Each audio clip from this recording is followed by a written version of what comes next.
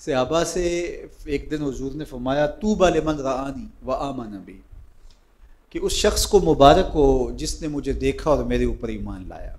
कितना खुशकस्मत है, जिसने मुझे देखा और मेरे ऊपर ईमान लाया। तो सहाबा बहुत खुश हुए, लेकिन हजूर ने फिर दूसरी बात फरमाई, व तूबा सबा मर्रात मल्लम यरानी व आमन नबी, और उसको सात मुबारकें हों, जिसने मुझे नहीं देखा फिर भी ईमान लाया।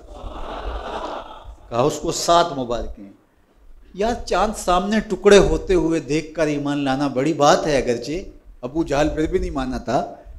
लेकिन एक चीज़ देखी ना, हुजूर का चेहरा देखा और पत्थरों से चश्मे फूटते देखे, उंगलियों से चश्मे बहते देखे और जो है वो सूरज को पलटते देखा, दरख्तों को सलामी देते हुए देखा।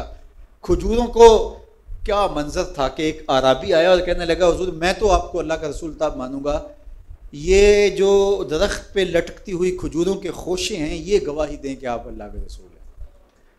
अल्लाह अकबर। तो हुजूर ने खोशों की तरफ़ इशारा किया तो वो टूट के हुजूर के कदमों में आ गए तो उसने कलमा पढ़ना शुरू कर दिया। तो वो कैसे मंजर थे? इकबाल ने कहा ना खुशा वो वक्त के तैबा मुकाम था उनका। खुशा वो वक्त के दीदार आम था उनका। वो एक वक्त था। तो कहा तू बल मन रानी व आमाना भी उस शख्स को मुबारक हो जिसने मुझे देखा और मेरे ऊपर ईमान लाया। और फरमाया, उस शख्स को सात मुबारक हों जिसने मुझे देखा भी नहीं होगा, लेकिन फिर भी मेरे ऊपर ईमान लाएगा। अल्लाह अकबर। वो हम तरबूज लेने जाते हैं ना। जब हम छोटे होते थे, अब तो कभी लेने नहीं गए। उस वक़्त तीन रुपये चार रुपये का होता। तो ये तीन रुपये का है। तो हम कहते अच्छा इसको वो टक्की वगैरह लगा दें। कहते, नहीं, टक्की लगा के अगर लेंगे तो फिर पाँच रुपये का होगा। हमारे पे यकीन करेंगे तो ले जाओ चार तीन रुपये का लेकिन जब हम चेक करके देंगे तो फिर कीमत इसकी ज़्यादा होगी। तो देख कर कहा कि इसकी कीमत ये है और जो सदियों बाद में आएँगे, देखा भी नहीं होगा। तो कहा, सब अमर रात, उनको सात मुबारक हों। तो ये सात मुबारकें हुजूर की जानब से वसूल कीजिए और ख़ुशी का इजहार कीजिए और अपनी ज़िंदगी इसी खुशी में तकवे के नूर से माला माल रखिए। हम यहाँ एक एक लम्हा एक एक साथ एक एक हरकत एक एक सकनत के जवाब दें।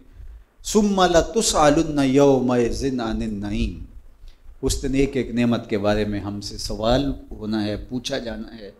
इसलिए अपने सारे मामलात को मुरतब रखें मुनज़म रखें। तो अल्लाह हमें कल्ब की तहारतें, रूह की पाकिजगियाँ, सोचों की इफ़तें और दामन की पारसाइयाँ नसीब फरमाए। ये मुख्तसर ज़िंदगी उसकी याद में गुज़रे, उसके ज़िक्र में गुज़रे, उसकी मोहब्बत में गुज़रे। हम जहाँ कहीं भी हों, ये ख्याल हमारे साथ जुड़ा रहे कि हमारा मालिक है और हम उसकी निगाहों में हैं और हम उसकी नाफरमानी नहीं करनी। ये ख्याल ज़िंदगी को निहाल कर देता है कि मेरा मालिक है कोई और मैं उसका मुती फरमा बरदार और उसके हुक्म का पाबंद हूँ। मैं क्यों उसको नाराज़ करूँ? तो तकवा इसी एहसास का नाम है कि मेरा मालिक मुझसे नाराज़ ना हो जाए। उलमा ने बड़ी खूबसूरत बात यहाँ लिखी कि जो कहा गया इतकुल्ला अल्लाह से डरो।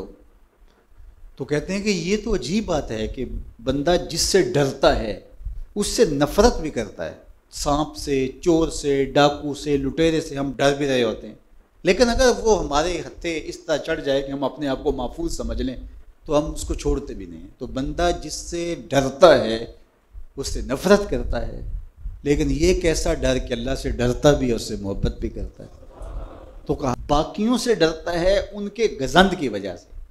और अल्लाह से डरता है उसकी नाराज़गी की वजह से। बंदा जिससे मोहब्बत करता है, उसकी नाराज़गी से डरता ना, रूठ ना जाए।